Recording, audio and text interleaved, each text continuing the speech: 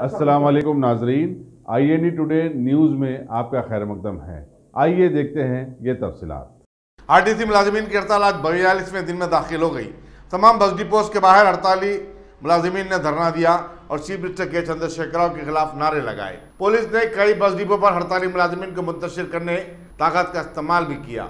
JAC के convener अश्वत्थमा Reddy को सुबह के बलियन सातों में बी एन रेड्डी में वाक़ उनकी रिहाइशगाह से गिरफ़्तार कर लिया था। ఈరోజు జేఏసీ పిలుపు మేరకు దీక్షలుండే. నాతో పాటు వారు ముగ్గురు దీక్ష కూర్చోవాలి నిరోధక దీక్షని నిరోధక నిరాహార దీక్ష కూర్చోవాలని నిర్ణయం చేసినాం.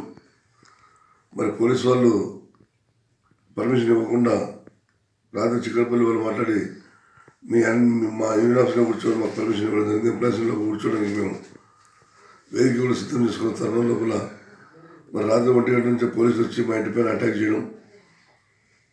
డోర్లు కొట్టడం పక్కనున్న వాళ్ళందరూ లేచేసాక అపార్ట్మెంట్లో ఉన్న వ్యక్తులందరూ లేచేసిన తర్వాత నాలుగు ప్రాంతంలో వెళ్ళిపోవడం జరిగింది. బహుశా బయటనే తిరుగుతున్న పోలీసులు. మరి ప్రజాస్వామ్య రాష్ట్రంలో ప్రజాస్వామ్య దేశంలో ఈ అక్రమ అరెస్టులను ఖండిస్తున్నాం. నలభై రెండు రోజుల్లో పోరాడుతున్న కార్మికులను హైకోర్టు సూచించిన చర్చలకు పిలవకుండా అరెస్టులతో దమనకాండ చేయడం. అది మరి ప్రజాస్వామ్యానికి సిగ్గుచేటు. అందరూ ఆలోచించిన అవసరం ఉంది.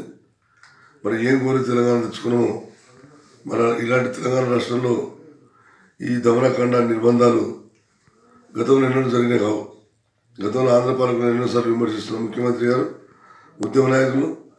మరి ఉద్యమం చేస్తున్నప్పుడు చర్చలకు ఆహ్వానించలేదు హైకోర్టు సూచించినప్పుడు చర్చలకు ఆహ్వానించకుండా విలీన డిమాండ్ కూడా వాయిదా వేసుకున్న తర్వాత చర్చలకు ఆహ్వానించకుండా మరి అరెస్టుల పర్వం చేస్తూ కార్మికులను భయప్రాంతాలకు గురి చేసే విధంగా నేను కరీంనగర్ లాంటి ప్రాంతాల్లో కూడా చాలా అరెస్ట్ చేశాను ఐదానికి సంబంధించి కూడా అరె- అరెస్టులు చేయడం జరిగింది ఈ అరెస్టులను మేము ఖండిస్తున్నాం ఖచ్చితంగా అరెస్ట్ చేసిన అందరినీ బేషరతుగా రిలీజ్ చేయాలి ఎటువంటి పరిస్థితుల్లో దీక్ష కొనసాగుతుంది